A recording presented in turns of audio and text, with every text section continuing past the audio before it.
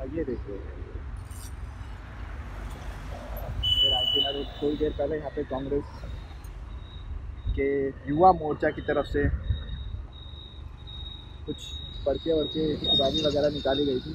और ये देखिए क्या कर रखा है पूरी सड़क का कौन साफ़ कराएगा भाई ने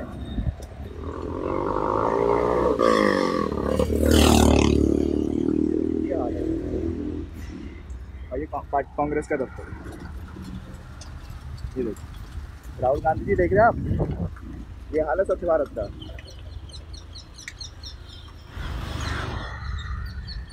और ये सिर्फ़ आपके ऑफ़िस के सामने नहीं है, पूरी रोड पे फैला पड़ा है।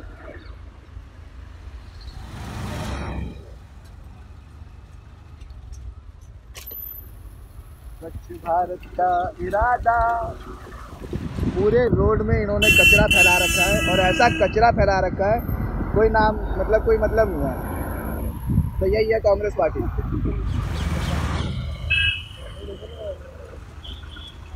कांग्रेस पार्टी।